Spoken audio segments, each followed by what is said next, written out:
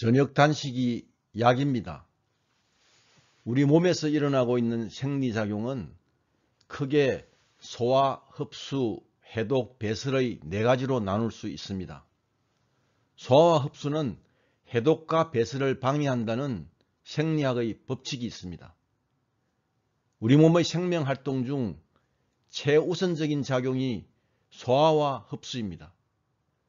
쉬지 않고 먹으면 소화기관인 위장관의 혈액 공급이 20%에서 30% 증가하고 상대적으로 해독과 배설기관의 혈액 공급이 줄어들어 해독과 배설에 에너지와 체내 효소를 할당할 여유가 없어진다는 뜻입니다.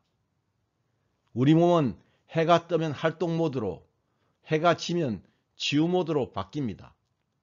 저녁이 되어 치유 모드로 바뀐 후 소화와 흡수가 멈추면 해독과 배설이 일어나기 시작합니다.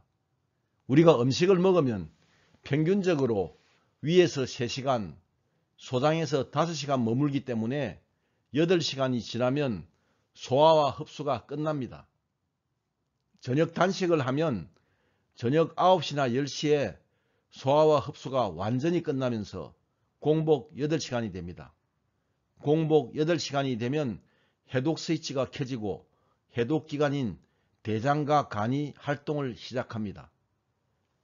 대장에서 수분은 재흡수되고 발효가 일어나면서 열이 만들어지고 나머지 찌꺼기는 S결장으로 보내서 다음날 오전 5시에서 7시 사이 배변을 하기 위해 대기합니다.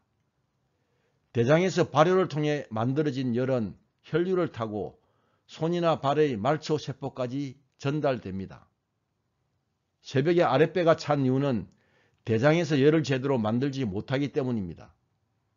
수족 냉증도 대장에서 발효가 원활하게 이루어지지 않아 열이 손발로 전달되지 못하고 손발의 모세혈관이 막혀 산소와 영양소가 공급되지 않아 에너지 생성이 제대로 되지 않기 때문에 생기는 증상입니다. 간에서 지용성 독소를 1단계 해독작용으로 중간대사 분자로 바꾸고 2단계 해독 작용으로 중간대사 분자를 수용성 분자로 바꿉니다. 이 수용성 분자가 신장을 거쳐 오줌으로 배출됩니다. 이러한 간의 해독 작용을 사이토크롬 P450 해독 시스템이라고 합니다. 이 해독 시스템이 평균 4시간 작동됩니다.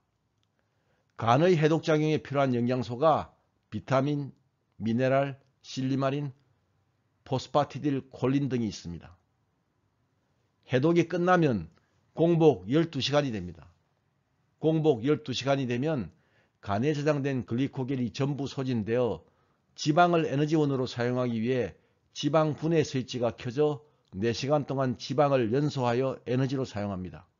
이때 체지방이 본격적으로 분해됩니다. 이와 같이 저녁 단식은 소화기관에게 휴식을 주고 해독 기관을 활성화하여 해독과 배설을 촉진합니다. 해독과 배설이 원활하게 이루어지면 우리 몸의 자연치유력이 복원됩니다. 자연치유력이란 우리 몸이 스스로 정화하고 스스로 치유하고 스스로 보존하는 태어날 때부터 가지고 있는 생명력을 말합니다. 러시아 속담에도 아침밥은 혼자서 임금처럼 먹고 점심밥은 친구와 의좋게 나누어 먹고 저녁밥은 원수에게 갖다 주라는 말이 있습니다. 저녁 단식이 습관화되면 속이 비면서 머리가 맑아지고 몸이 가벼워지는 즐거움을 느끼게 됩니다. 일주일에 두 번 저녁 약속을 하지 않고 저녁 단식을 하면서 나만의 시간을 갖고 내 몸의 세포와 대화하고 나의 일상생활을 되돌아보는 삶의 여유를 가져보는 것은 어떨까요? 끝까지 시청해 주셔서 감사합니다. 이 영상이 마음에 드셨다면 구독, 좋아요, 알람 버튼을 꼭 눌러주세요.